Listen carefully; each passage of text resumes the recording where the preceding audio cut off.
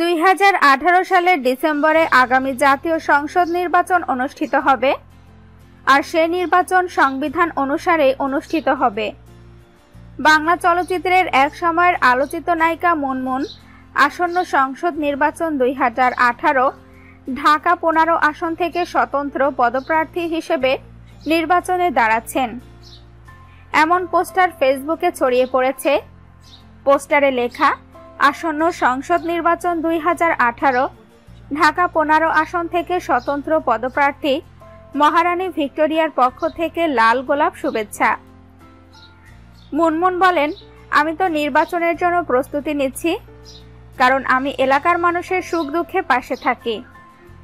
নিজের হাসপাতাল আছে, সেখানে গরিব মানুষের চিকিৎসা করাই। আশেপাশে আরও বেশ কয়েকটি হাসপাতালে আমি সাহায্য করি। আমার এলাকায় কেউ মাদকের ব্যবসা করতে পারে না। আমি সবার আগে অসামাজিক কাজের বিরুদ্ধে রুখে দাঁড়াই। নিজের ফেসবুকে মুনমুন যে পোস্টার শেয়ার করেছেন, তাতে লেখা, আসন্ন সংসদ নির্বাচন দুই হাজার আঠারো, ঢাকা পনেরো আসন থেকে স্বতন্ত্র পদপ্রার্থী মহারানী ভিক্টোরিয়ার পক্ষ থেকে লাল গোলাপ শুভেচ্ছা।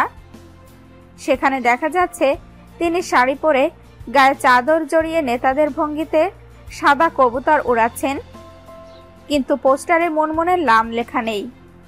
লেখা আছে, মহারানী ভিক্টোরিয়ার নাম। মহারানী ভিক্টোরিয়া আসলে কে? এ প্রসঙ্গে তিনি বলেন, এটা বাস্তব কিছু নয়। রাগে সিনেমায় আমার চরিত্রের গল্প বললাম। এই পোস্টারটি ছবির প্রচারণার অংশ। এরই মধ্যে ছবির সত্তর শতাংশ শুটিং শেষ হয়েছে। আগামী সপ্তাহে ছবির শুটিং শুরু হচ্ছে। পাবনায় আগামী ছয় তারিখ থেকে টানা ষোলো তারিখ পর্যন্ত শুটিং করার কথা রয়েছে। সেখানে আমার বাড়ির অংশের শুটিং করার কথা। মুনমুন আরও বলেন, আমি এই ছবির মূলত খলনায়িকা। সবার সামনে আমি অনেক পজিটিভ, কিন্তু আড়ালে কি তা এখন আর বলব না। সবাইকে অনুরোধ করব যেন ছবিটি সিনেমা হলে গিয়ে দেখে বাস্তবে রাজনীতিতে নামার প্রসঙ্গে তিনি বলেন, আমি রাজনীতি করি না। অভিনয় শিল্পী হিসেবে অনেক ভালো আছি। ভালো মানের কাজ পেলে সারা জীবন অভিনয় করতে চাই। মিজানুর রহমান মিজান পরিচালিত রাগী ছবিতে আরও অভিনয় করেছেন নবাগত নায়ক আবির, মুনমুন, মিশা সওদাগর প্রমুখ।